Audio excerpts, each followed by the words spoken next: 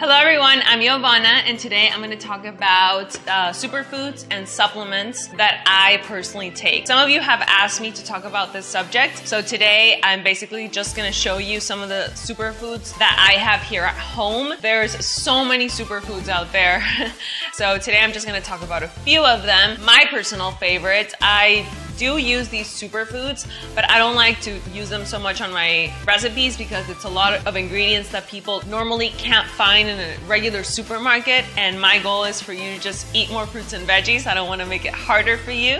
Uh, but as we see more and more of these products being sold out there and being more accessible to everyone, it's easier for you guys to get them if you want. So I'm basically gonna go by fruit, roots, protein powders, greens, and supplements, okay?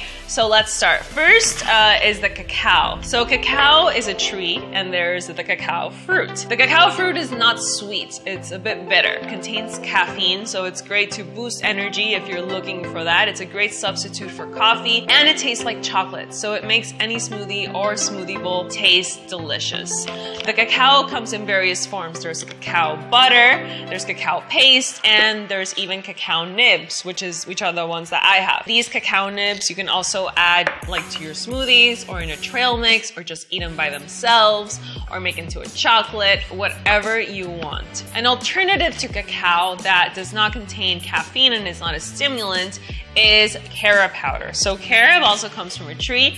It looks kind of like a tamarind. It's not, it's long and it's hard. It's like a hard fruit. So it's made into a powder form and it has a taste kind of like chocolate too. So it's good. I like it. This is sacha inchi, which is very high in protein. And As you can see, it comes from like a pod like this, like a star shaped pod, and it has a nutty flavor, which I personally like. And here is goji berries. So as the name you can see, uh, berries. They're very high in magnesium. They're bittersweet and you can also add them to smoothies or with fruit or just eat them by themselves. Uh, they are also a good source of A vitamins, of B vitamins. Here we have camu camu. Camu camu is a fruit. It's a berry actually, and it contains more than 240% of the recommended vitamin C that we need in a day. So with just with a teaspoon, you'll have that. Here we have lucuma powder. So lucuma is also a fruit. I actually tried it in Peru for the first time this year, and it's so sweet and creamy. Like, has a custardy taste. It's really, really good. And it's made into a powder format, and it's very rich in essential vitamins. So this with banana tastes really good.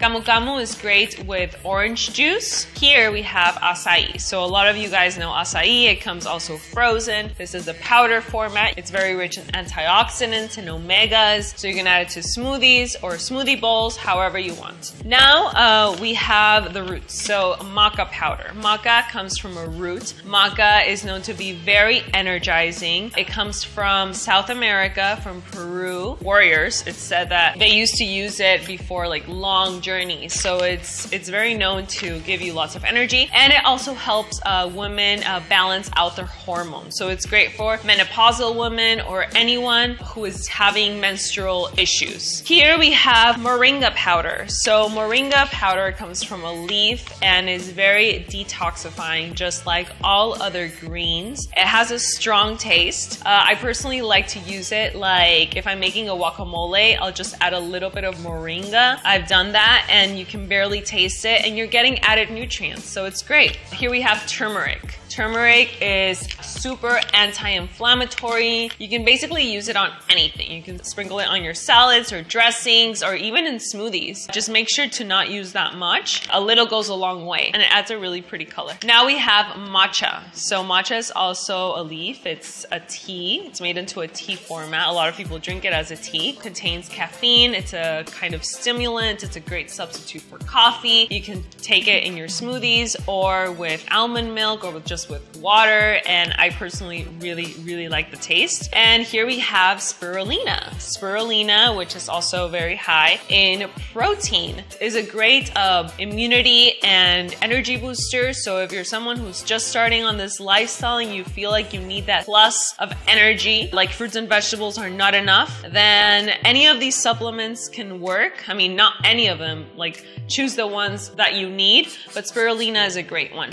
Here, for example, is uh, the brand Garden of Life, and there's other brands that make this as well. It's basically like a green blend. So you get a lot of greens, probiotics, fruit, uh, made into a powder format, and you can just use a scoop, put it in your smoothies, and you have all those nutrients and vitamins. The great thing about supplements is that now with the soil not being the same quality as years back, a lot of the fruit that is harvested doesn't contain the nutrients that it used to contain. So that's why a lot of people like to take these supplements because you're just adding nutrients to, sadly, the fruit that is grown on depleted soil. All right, so now I'm moving on to protein powders. I recently started to take protein powders ever since I started lifting more weight. And I honestly feel good and I like the taste. So here is one Sun Warrior, which is uh, raw and vegan. All of these are vegan, of course. And the base of most of these protein powders is gonna be pea protein and brown rice protein, mixed with hemp seed protein, sacha inchi, maca. They can even add greens. You can really add whatever you want. These proteins are basically a blend of plant-based protein and other added superfoods to make it more nutritious. Some other brands are Vega. You've probably seen this at Whole Foods. Uh, the chocolate chocolate flavor is honestly my favorite. And what I like about this one is that it contains a few things that I like, like hemp protein, also has broccoli, kale, greens, it has some dehydrated mushrooms, herbs is good. I like it, personally like it. This one, Garden of Life, is another brand that is very popular out there too, and this is a meal. So this is basically, you blend this with bananas, dates,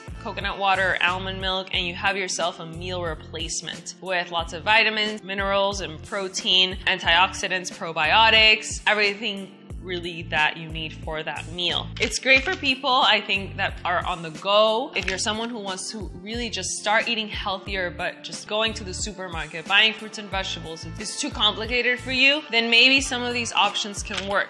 Amazing Grass is the fourth brand that I personally like. This brand, you're gonna see it more uh, commercialized. I think you can even find it in Target. It's very easy to find. And I personally like the original flavor and the vanilla flavor. This one, for example, has alfalfa, barley grass, spinach, spirulina, the protein blend, like I said, like pea protein, hemp protein, chia, quinoa. The other brands of proteins are also going to contain quinoa, which is very rich in protein. There's a lot of brands out there, but these are basically my favorite. Now we have hemp protein. This is one that I personally really like. It comes from hemp seeds. I like to put it on my fruit um, when I'm traveling, when I'm on the go. That's when I usually consume these super foods and supplements. Okay, so now going on to supplements. The three supplements that I personally take more on a regular basis are vegan B12, because it's said that you can only find B12 in meat, which is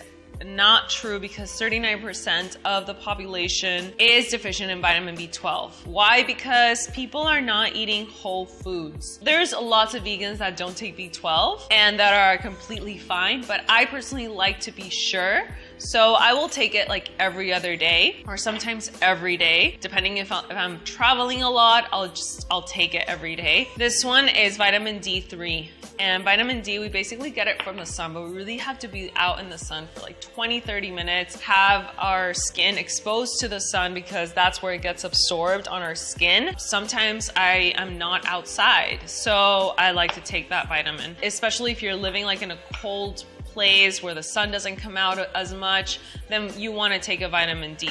Uh, omega 3. So this one is basically an alternative to fish oil and, and krill oil. So it's vegan.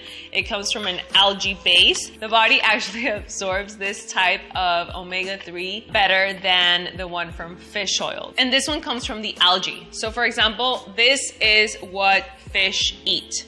So basically you're eating the source, so it's even better. All right, you guys, so these are a few of the supplements like I said, there's so many of them. And I would love to know what you guys think about supplements. And I would also love to know if you guys want me to use uh, more of these supplements in my recipes. And if there's any supplements that you personally like one that I didn't mention. I would also love it if you share it with us in the comments. Thank you so much. Before you're gone, don't forget to please subscribe to my channel. I upload videos every Monday, Wednesday, and Friday, and also subscribe to my website, rawvana.com, to get a free food combining chart. Uh, you can follow me on Instagram, on Facebook, and Twitter, Snapchat, all at Rawvana, okay? I'll see you guys in the next video. Mwah! Love.